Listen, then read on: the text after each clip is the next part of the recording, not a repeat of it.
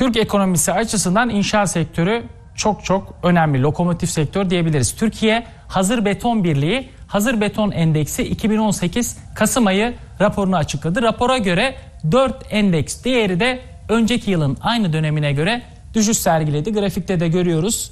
Bu e, 100 bandında olan e, %99 arasındaki bantta olan e, endeks değerleri gitgide düşüyor e, ve e, ciddi bir azalış var. E, geçen ayki verilerde inşaat sektöründe bir toparlanma e, göz önündeydi. Ancak bu durumun geçici olduğunu e, tanık oluyoruz. Türkiye açısından e, önemli e, uyarılar e, anlamına geliyor bu veriler. Çünkü inşaat ve bağlantılı sektörler sektörlerdeki durgunluk e, devam ediyor.